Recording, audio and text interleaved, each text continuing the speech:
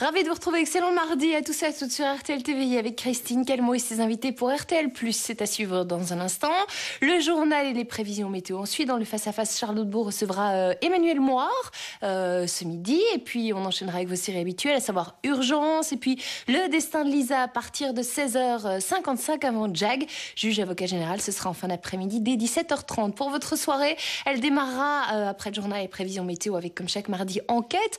La police fédérale qui vous emmènera euh, notamment en version à découvrir des plantations de cannabis. Et puis, au-delà de la frontière, aux Pays-Bas, on vous vend carrément le kit pour faire vos plantations.